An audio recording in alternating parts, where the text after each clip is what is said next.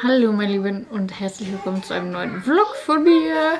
Ein weiterer Baby-Countdown. Wir sind bei 36 plus 1, 2, 3, 4, 4. genau. Also schon fast 38. Woche. Es geht einfach so schnell, morgen ist schon wieder Donnerstag. Und damit, ja, schon wieder fast Wochenwechsel für mich immer. Ja, heute ist Mittwoch.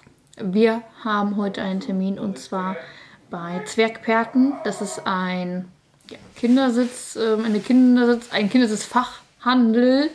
Ähm, genau, und da wollen wir uns intensiv beraten lassen, zwecks einem neuen Reboarder und der Babyschale fürs Baby. Ja, mein Hase.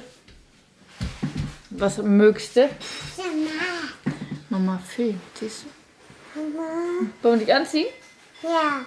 Ja. Hier schon Lias äh, Outfit rausgelegt und eine neue Windel. Und dann ziehen wir die Kleine jetzt mal an. Und Felix macht sich gerade Frühstück. Lia und ich haben schon gefrühstückt, weil wir schon ein bisschen länger wach sind. Wisch, wisch. Wisch, wisch, wisch, wisch. Hier, gib Papa mal die Lappen. Die kann er mal nass machen. genau. Also heute sind wir dann bei Zwergperten und da nehmen wir euch ein bisschen mit. Mal gucken, wie das klappt mit dem Film und mit Lia und äh, Kindersitz ausprobieren und alles. Äh, genau, ich bin sehr gespannt. Ich bin auch sehr gespannt, wie ähm, der Reboarder und die Babyschale so in Real Life aussehen. Ich habe die nämlich jetzt nur ähm, bei Instagram gesehen. Das ist nämlich das neue Next-System von Luna. Ich weiß nicht, ob äh, es vielleicht irgendjemand was sagt schon. Ähm, Genau, auf jeden Fall hat Nuna gerade was ganz Neues rausgebracht. Und zwar so ein Set, wo man insgesamt vier Teile auf ein und dieselbe Isofix Base machen kann. Und darunter sind eben zwei Babyschalen, ein Reboarder und eine Babyschale für einen Kinderwagen, die man auch im Auto nutzen kann. Das ist so ein cooles System. Dankeschön, mein Schatz. Wollen wir jetzt Baby machen? Naja. Okay, gut. Das muss ich jetzt schnell nutzen, dass ich die Baby machen darf. Das ist nämlich nicht so oft der Fall. Dann ziehen wir die Kleine an und dann geht's auch schon los. Nasko, was machst du da? Was machst du da? Jetzt hat die kleine Maus angezogen und frisch gemacht. Und der Hund wälzt sich hier auf dem Teppich. Auf unserem schönen neuen Teppich, ne, Lia? Der ist unser schöner neuer Teppich. Ne? So, wollen wir los? Was ist denn mal? Ja, was macht ihr da? Hm? Machen wir Gut. Oh, was macht der auf dem Boden? Der wälzt sich. Ja. Ja, schau. So, on the road. Babybauch. Ja, ein Hubschrauber, wahrscheinlich. So, meine Lieben, wir sind im Auto, wie ihr seht. Wir sind auch gleich schon da, noch 10 Minuten. Und dann schauen wir mal, äh, wie das äh, läuft da und wie das aussieht. Ich bin total gespannt. Ich kenne den Laden an sich schon, weil ich damals da zur Schule gegangen bin und die damals direkt neben meiner Schule den Laden hatten. Jetzt sind sie umgezogen in einen neuen Laden. Ich bin sehr gespannt, wie der aussieht. Ähm, genau. Und ich wollte noch kurz was zu unserer Kindersitzgeschichte sozusagen erzählen. Also wir hatten damals hier bei Felix im Auto auch einen Reboarder, aber Lia wollte dann absolut gar nicht mehr rückwärts fahren und deswegen haben wir meinen Reboarder bei mir im Auto nach vorne gerichtet und hier bei Felix eben einen Fangkörpersitz gekauft. Und jetzt sitzt Lia bei mir aber wieder rückwärts, weil ich es einfach nochmal wieder ausprobiert habe und es hat äh, super geklappt und seitdem sitzt sie wieder rückwärts. Und jetzt wollten wir gern auch ähm, für Felix Auto wieder einen Reboarder haben. Und da wir sowieso gleich Baby und weil wir sowieso auf der Suche nach einer Babyschale waren, haben wir dann dieses Next-System entdeckt äh, von Luna, wo eben alles dabei ist. So, jetzt sind wir auch schon da. Schauen, ich muss noch, holst, holst du Lia raus? Stimmt, Maske, hab ich voll vergessen. Maske nicht vergessen.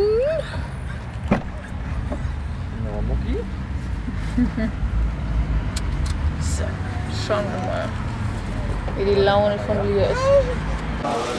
So, wir sind jetzt drin und jetzt haben wir hier einmal den Reborner Isofix. Wird das Ganze mal ausprobiert, ne Baby? Dann darfst du gleich Probe sitzen. Ich geh mal kurz mit. Ja, gehen wir mit.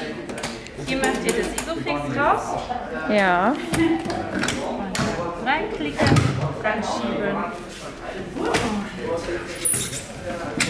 Auch aufstellen. perfekt. dass Hier grün wird.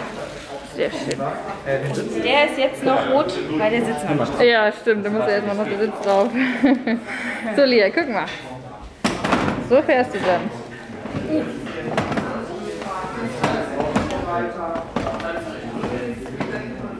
Genau, rausgenommen wird er, ihr habt hier diese Taste. Ach so, da ja. kann man ihn dann einfach, also an beiden Seiten, ne, du musst jetzt mal hier und dann hast du ihn da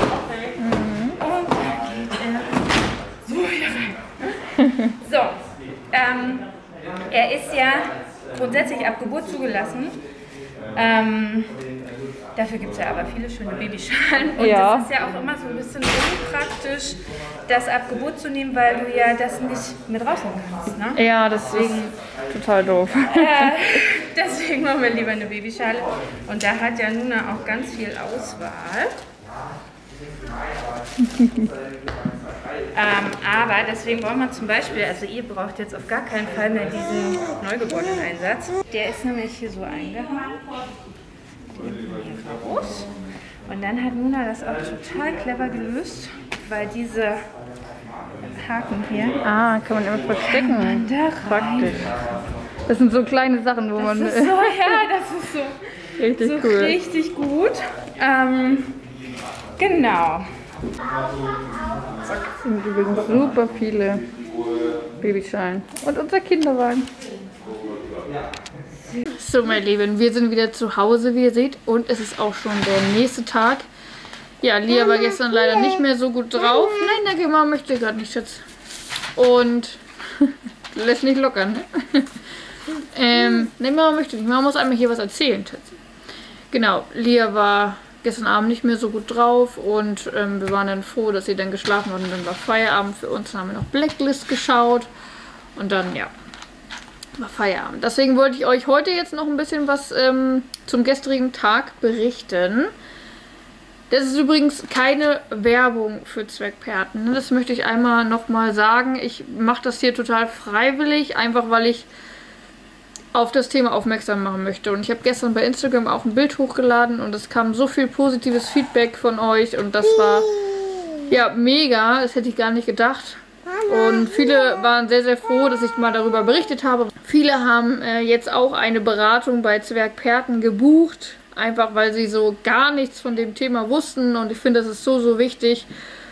Und erst recht so Babyfachmärkte wie Baby One oder ähnliches machen da einfach vieles kaputt. Ich möchte da nicht ähm, jetzt alle unter einen Kampf scheren. Natürlich gibt es auch Ausnahmen, aber es wird einfach gesagt und ich habe auch selber die Erfahrung gemacht, dass bei Baby One eben nur das verkauft wird, was äh, verkauft werden soll. Und ähm, das sind selten Reboarder für Kinder, die halt eigentlich schon vorwärts sitzen können, nicht sollten. So, jetzt möchte ich aber wirklich mit euch einmal über Zwergperten reden. Genau, also Zwergperten gibt es in ganz Deutschland und in ganz Österreich. Das ist ein, ja, ein Kindersitz-Fachhandel, wo ihr wirklich richtig toll beraten werdet. Und ihr könnt euch da komplett kostenlos beraten lassen. Also ihr müsst dafür nichts bezahlen. Die Kindersitze sind genauso teuer wie in einem äh, anderen Babymarkt. Also ihr habt davon eigentlich wirklich nur Vorteile. So, und jetzt wollte ich einmal noch ähm, einfach so allgemein über das Thema Kindersitze reden. Also anfangen tun wir mal bei den kleinen Babys. So, wenn ein Baby geboren wird, so wie bei uns, ähm, dann weiß man ja, so zur Erstausstattung gehört eine Babyschale. Natürlich. Aber die bei Kindersitzen ist es so, der Kindersitz muss zum Kind passen und der muss zum Auto passen. Das heißt, es passt nicht jede Babyschale zu deinem Kind und es passt auch nicht jede Babyschale zu deinem Auto. Das ist ganz, ganz wichtig, weil bei vielen Autos zum Beispiel ist die Rückbank einfach ein bisschen steiler als bei anderen. Oder ja, da gibt es einfach so viele Faktoren. Und deswegen bei einer Kindersitzberatung auch immer das Kind und das richtige Auto mitbringen. Also wirklich das Auto, wofür der Kindersitz dann sein soll. Und dann vor Ort wird jeder Kindersitz ausprobiert mit dem Kind und im Auto auch eingebaut und geguckt, okay, passt das so oder passt es nicht. So, das wird zum Beispiel Baby One gar nicht erst angeboten. Genau, also fangen wir an bei der Babyschale. Das Baby muss natürlich aus dem Krankenhaus nach Hause transportiert werden. Das heißt, man braucht eine Babyschale. So. Und das Baby kann man natürlich vorher nicht irgendwie testen mit der Babyschale. Deswegen wird meistens eine Babyschale gekauft. So. Zwergperten bietet aber an und viele andere Händler auch, dass man die Babyschale ausleihen kann. Das heißt, man sucht sich eine aus in der Schwangerschaft, die zum Auto passt und die eventuell zum Kind passen könnte. Die leiht man sich dann aus und wenn das Kind da ist, fährt man mit der Babyschale nochmal zu Zwergperten oder ähm, manchmal geht es auch über Video oder Bilder oder sowas. Aber am besten wäre es, wenn man einmal hinfährt. Dann wird einmal geschaut, sitzt das Kind gut drinne und passt die Babyschale mit dem Kind so ins Auto. Sollte das passen, ist alles gut, dann könnt ihr die Babyschale kaufen. Passt es nicht, wird direkt eine passende für euch gefunden. Und die könnt ihr dann kaufen. Damit wirklich alles passt. Bei Babys zum Beispiel ist es ganz, ganz wichtig, dass sie die ersten drei Monate wirklich sehr, sehr gut in der Babyschale sitzen, weil sie einfach ihre Nackenmuskulatur noch gar nicht, ähm, ja, die, einfach, die ist noch gar nicht vorhanden. Und die meisten Babys sitzen dann so in der Babyschale und sie bekommen keine Luft. Und das ist super, super ähm, schwierig bei den Kleinen. Genau, das sind einfach so Faktoren. Da muss man eben äh, gucken dann, wie das Kind in der Schale sitzt und ob es eben ähm, richtig schön Luft bekommt und richtig schön gerade liegt. Wenn das Kind da so zusammengefallen drin liegt, dann ist es einfach nicht das Richtige. Genau, also falls ihr da auf der Suche nach einer, Baby, nach einer Babyschale seid, könnt ihr gerne einmal bei Zwergperten vorbeischauen und euch da beraten lassen. Wie gesagt, komplett kostenlos und sowas. Dann nach der Babyschale geht es weiter mit einem Reboarder. Viele denken, oh, ich muss jetzt ganz schnell wechseln, weil mein Kind äh, ist schon viel zu groß für die Babyschale. Tatsächlich gehen die meisten Babyschalen bis über den ersten Geburtstag hinaus und ähm, man hat da gar nicht so einen Stress. Das heißt, wenn euer Kind so langsam die Anzeichen macht, dass die Babyschale zu klein ist, macht einen Termin bei Zwergperten, nimmt das Kind mit, nimmt das Auto mit und dann findet ihr den perfekten Kindersitz für euch. So, viele denken jetzt, einfach weil es auch tausende Kindersitze gibt, die nach vorne gerichtet sind, dass das Kind nach der Babyschale nach vorne gerichtet sitzen soll. Das ist falsch. Denn bei einem frontalen Aufprall, wie es nun mal das meiste ist, also am meisten hat man Frontalaufprallunfälle, ähm, nämlich 70% von allen Unfällen sind frontal. Und dabei kann dein Kind einfach unglaubliche Schäden davon tragen, weil es einfach so nach vorne geschleudert wird und die komplette Nas Nackenmuskulatur, das schafft das Kind einfach noch nicht mit einem Jahr. Und ja, deswegen immer rückwärts fahren. Am besten bis vier Jahre, wenn es geht. Natürlich machen nicht alle Kinder damit. Natürlich ähm, sind einige Kinder auch größer und passen dann nicht mehr in die Reboarder, wobei es auch Reboarder gibt, bis 25 Kilo. Also ähm, das gibt schon Reboarder, wo Kinder mit 8 Jahren reinpassen. Also da auch da gibt es die Möglichkeit, aber man sagt ungefähr so bis 4 Jahre sollten Kinder auf jeden Fall rückwärts fahren. Und also beim Folgesitz nach der Babyschale auf jeden Fall zu einem Reboarder greifen. Auch da wird der passende für euch gefunden und für das Kind. Da gibt es so viele Modelle und so viele Möglichkeiten, verschiedene Funktionen, auch dass man den drehen kann zum Einsteigen, weil viele immer sagen, ah, wie soll ich das Kind denn da reinhieven und sowas, die kann man drehen. Und viele haben auch Bedenken wegen der Beinfreiheit und da möchte ich auch nochmal was zu sagen. Und zwar ist es meistens so, oder ist es so, dass die Kinder, wenn sie vor, nach vorne gerichtet sitzen und die Beine hängen so runter, dass sie dann Hüftprobleme bekommen, weil die Beine so gerade nach unten hängen. Wir zum Beispiel sitzen ja auf dem Barhocker auch nicht mit baumelnden Beinen. Wir haben auch immer so ein äh, kleines äh, Standbrettchen sozusagen dabei, weil es einfach super unangenehm ist, so die ba äh, Beine so baumeln zu haben. Ich glaube, das kennt einige Erwachsene. Und tatsächlich ähm, gibt es ja diese Anhock-Spreizhaltung beim Tragen. Die kennt man ja. Und genau das gleiche ist es eben beim Reboarder, dass die Kinder eben so angehockt sitzen da. Das stört die Kinder auf gar keinen Fall. Also meine ist jetzt zweieinhalb Jahre alt und sie hat noch nie über ihre Beine geklagt. Und es gibt bei Zwergperten gab es auch noch kein Kind, was sich über die Beinfreiheit beschwert hat, eben weil es super gemütlich ist, so angehockt zu sitzen. Nur wir als Erwachsene denken halt, hö, das ist doch bestimmt total unbequem. Aber tatsächlich ist es viel, viel besser, als nach vorne gerichtet die Beine so baumeln zu haben. Deswegen fangen Kinder übrigens auch an, gegen den Rücksitz zu treten, einfach weil das ein super unangenehmes Gefühl ist und das sogar ähm, dazu führen kann, dass die Beine einschlafen vom Kind. Und ich glaube, das kennen wir alle, das ist mega unangenehm. genau. Ja, das sind also so ein paar Sachen zum Thema Reboarder. Warum, warum nicht? Ganz klarer Punkt, einfach die Sicherheit. Nach dem Reboarder gibt es ja auch noch Folgesitze, ähm, wenn die Kinder einfach wirklich groß sind, so 10 Jahre alt. Und da hat Zwergperten einen äh, Führerschein. Zwar einen Zwergenführerschein. Den können die Kinder dort vor Ort machen. Denn wenn die Kinder anfangen, ähm, in diesen großen Sitzen zu sitzen, wo sie dann wirklich mit dem erwachsenen Anschnaller angeschnallt sind, dann können die Kinder ja auch sich leicht befreien, den Anschnaller einfach wegmachen und sowas, sich abschneiden eventuell. Und dafür hat Zwergperten diesen Führerschein entwickelt. Da müssen die Kinder einmal hier Fragen beantworten und dann bekommen sie eben den Führerschein mit dem Foto und alles. Also eine mega schöne Idee, damit die Kinder halt so ein bisschen wissen, okay, ich darf nicht rumzappeln, ich muss ruhig sitzen, ich darf mich nicht abschnallen. All sowas. Also auch das finde ich richtig toll. Da wird also wirklich auch auf viel, viel auf die Kinder eingegangen. So, und jetzt wollte ich noch kurz auf das Thema Fangkörpersitz eingehen. Ich versuche euch da mal ein Video unten in der Infobox zu verlinken, denn das hat mich selber schockiert. Und wir selber sind ja sogar Besitzer von einem Fangkörpersitz. Und ähm, nachdem ich das Video gesehen habe, habe ich gesagt, okay, da sitzt meine kleine Maus nicht mehr drin.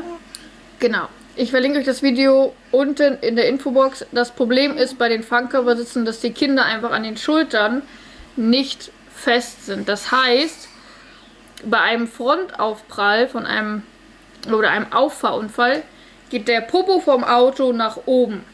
Und das heißt, euer Kind wird aus dem Sitz oben rausgeschleudert und ist nicht fest, weil es eben an den Schultern überhaupt nicht fest ist.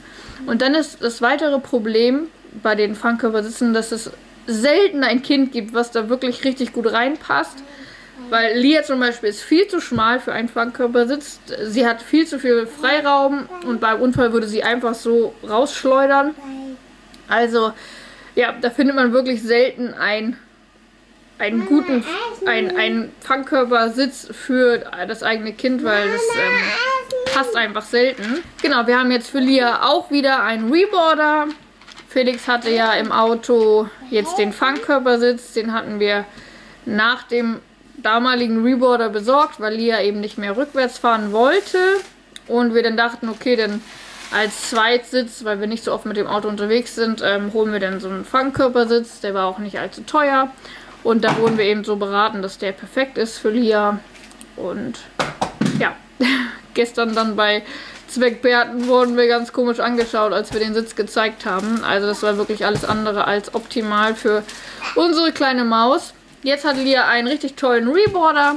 Den habt ihr ja gesehen im Vlog. Und fürs Baby haben wir eine richtig tolle Babyschale. Natürlich ähm, fahren wir, wenn das Baby da ist, nochmal zu Zweckperten und lassen uns alles nochmal kontrollieren, ob das Baby gut darin sitzt. Das Gute an unserer Babyschale ist, dass sie eine Liegefunktion hat, die man auch im Auto nutzen kann. Das heißt, das Kind hat immer genug Freiheit und kann immer gut atmen, eben weil es komplett gerade liegt.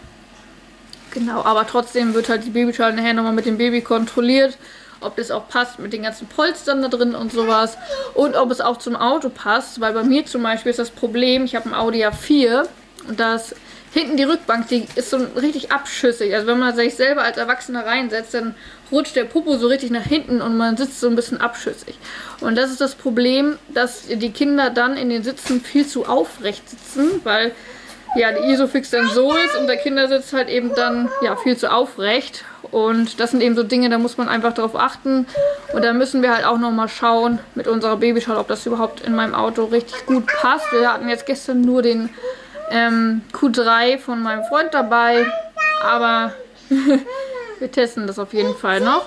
Und zusätzlich haben wir aber auch noch einmal eine Babywanne. die man auf den Kinderwagen machen kann. Und die kann man auch im Auto nutzen. Das ist mega cool für lange Reisen. Also es ist mega praktisch. Dann kann das Kind da schön die ganze Zeit gerade liegen, ist angeschnallt und es kann nichts passieren. Das Ganze wird auch mit Isofix befestigt. Also ich bin mega begeistert von dem Set. Und äh, genau, jetzt wo wollte ich euch gar nicht so viel voll quatschen, habe ich schon, aber wollte ich gar nicht. Ich hoffe, ich konnte euch so ein bisschen was zum Thema Kindersitz ähm, und Kindersitzberatung vor allem erzählen. Nehmt euch einfach die Zeit, macht einen Termin bei Zwergperten oder fahrt einfach hin. Und dann, ähm, ja, nimmt Kind, nimmt Auto mit. Und dann werdet ihr auf jeden Fall toll beraten. Und ähm, ja, ich kann euch das wirklich nur empfehlen. Ich verlinke euch Zwergperten einmal unten in der Infobox. Eventuell finde ich auch noch mal eine Liste, wo ihr so alle Standorte findet. Das wäre auch, glaube ich, ganz gut für alle, die so ja, nicht wissen, wo der nächste wo die nächste Filiale ist, dann könnt ihr da mal vorbeischauen. Aber wie gesagt, eigentlich sind die überall vertreten. Selbst hier bei uns auf dem Dorf sind die vertreten. Also da findet man eigentlich immer die passende Anlaufstelle. Die haben auch weitere Sachen wie Kinderwagen und sowas und natürlich auch richtig viel Zubehör. Genau, wir haben zum Beispiel auch so ähm, zwei Schonbezüge für unsere Autositze, weil zum Beispiel bei Leder irgendwann äh, gibt es Abdrücke von den Kindersitzen und deswegen gibt es extra so Schonbezüge. Kinder sind ja dann im Reboarder mit den Füßen an der, an, am Sitz und damit man die Schuhe anlassen kann, wobei man sie meistens ausziehen sollte, weil sonst kann das drücken, ähm, gibt es auch nochmal so einen Schutz, damit die die Sitze eben nicht so dreckig machen. Genau, so, jetzt habe ich euch wirklich genug vollgequatscht. Ich hoffe, euch hat dieses Video trotzdem äh, gefallen und ich äh, wünsche euch einen schönen Tag. Schreibt mir gerne in die Kommentare, wie eure Erfahrung so zu Kindersitzen ist und sowas. Wie gesagt, das Feedback auf Instagram gestern war mega und äh, vor allem hätte ich das niemals gedacht, ähm, dass da so viele schreiben und dass auch so viele keine Ahnung hatten. Genau, also ja, ich hoffe, ich konnte ein bisschen aufklären. Habe jetzt nicht nur dummes Zeug gelabert hier. Also wir sind jetzt seit zweieinhalb Jahren Eltern und wir haben gestern so viele, unglaublich viele Sachen gelernt und vieles war einfach so, ja, wir hatten ein Problem mit Lia, zum Beispiel, dass sie mit dem Kopf beim Schlafen immer nach vorne gefallen ist im Reboarder und das ist natürlich mega unbequem. Und das Problem ist mein Auto, weil der Reboarder in meinem Auto passt einfach nicht zu meinem Auto. Dafür ist meine Rückbank zu steil und der Sitz hat einfach nicht die passende Ruheposition, die mein Auto braucht. Und das sind einfach alles so Dinge, wo ich dachte, oh Gott, das liegt an meinem Kind und es liegt eigentlich einfach nur am Auto, beziehungsweise dem falschen Sitz. Ja. Genau, so. Und jetzt habe ich euch wirklich voll gequatscht hier. Ich wünsche euch einen ganz, ganz wundervollen Tag. Bis zum nächsten Mal und dann tschüssi!